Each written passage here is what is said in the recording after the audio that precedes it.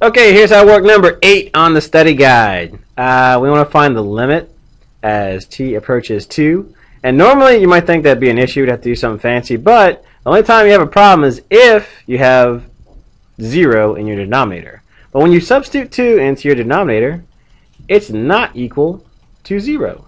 So as long as your denominator is not equal to 0, if you do you know, substitute this in, 4 minus 4 plus 1, you get 1. So uh, there's not much work to be done there. You can literally just substitute. In fact, your limit is actually equal to your function value itself. The value of this function at 2, uh, you know, since 2 is in the domain, would be 2. All right. Uh, number 9, okay? Let's try doing that again. Let's try just plugging in, you know, since our limit is approaching negative 3, let's try plugging in negative 3 here, and uh, let's see if everything's so kosher. So we substitute in negative 3, since we're taking the limit as x approaches negative, well, as z approaches negative 3. Alright, we get 0 in our denominator. Oh, we have a problem. So now we're going to have to do some calculus work. Really, we're going to do some algebra work, because you can't have 0 in your denominator. So we want to kind of, we, want to cancel out that bad point. Alright, so this thing is going to be discontinuous. This function is going to have discontinuous, uh, discontinuity at negative 3. But if it's a removable discontinuity, which means that we could like kind of cancel it out by factoring it. So factor your top, which is a trinomial. It's actually a perfect square trinomial if you recognize it. You just uh, and you factor the bottom also, which is a perfect square minus a perfect square. So factor that into two binomials. Put your parentheses. Your bottom is going to factor into z plus three, and times z minus three. Your top is going to factor into z plus three times z plus three. And if you notice, you got a z plus 3 on the top, you got a z plus 3 on the bottom. So you can cancel out you cancel out one of each. And the reason why it's legal to do this is because you know z isn't actually negative 3. It's just really, really close to negative 3. So we're not dividing 0 by 0 here. We're just dividing a tiny number by a tiny number.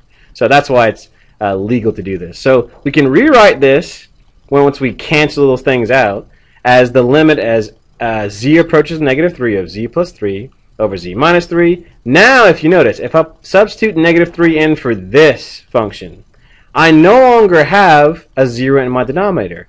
You plug in a negative 3 here in place of z, which I'm going to highlight here, show you I'm, I'm doing a substitution here, which I couldn't do before. If I tried to substitute before, got 0 in the denominator, bad stuff happened. But now you don't get 0 in your denominator.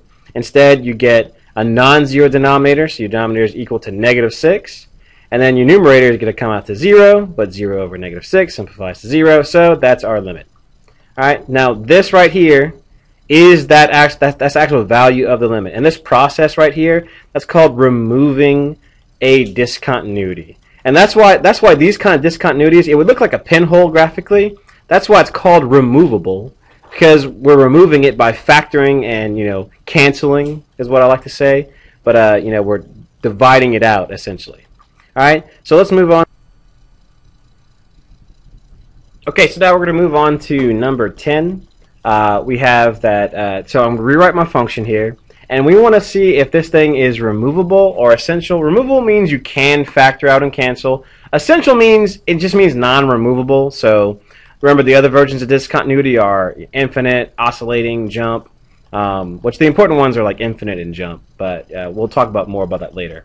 So uh, we can we want to factor this. Now I'm going to factor this wrong, okay? Because I'm so anxious. I want the 2 to cancel out. So maybe it's x minus 2 times x minus 3.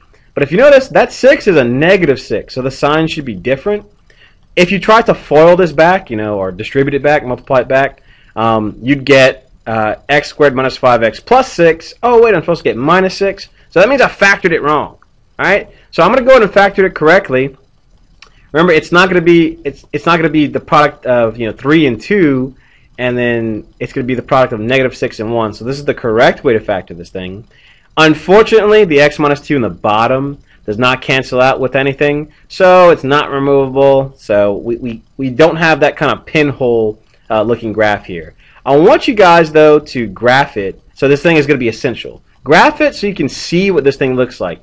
This is how you would do it, say, just visually to see if it's removable or not. If it's removable, the function would look discontinuous and there would be a pinhole, but you actually can't see the pinhole on a calculator. So whether you zoom in or out, I'm going to go just to my standard window. That's what this thing looks like in the standard window. Remember that, that line right there is a That vertical line is actually a vertical asymptote. So just to help you see what this looks like, um, you know, this as as you go from like the left, your limit seems to go to infinity. As you approach two from the right, it goes to negative infinity. And again, that that vertical line that you see there, you might not see it on your calculator. My calculator graphs it. Um, you can get rid of it if you graph it in uh, dot mode instead of connected. But this is going to be what kind of discontinuity? It's going to be infinite discontinuity because your limit as you approach 2 from the left is infinity. As the limit as you approach 2 from the right is negative infinity. So it's not going to be like the removable one where you see that little pinhole. It's going to be not removable. It's going to be infinite in this case. That's the end of this part of the lecture. Yeah! The views and opinions expressed in this video are solely those of Mr. Venable and do not necessarily reflect those of the schools of Harvard, Rockefeller, Board of Directors, Administration, University of Schools, or anyone else. Visit our website at sscoto.org.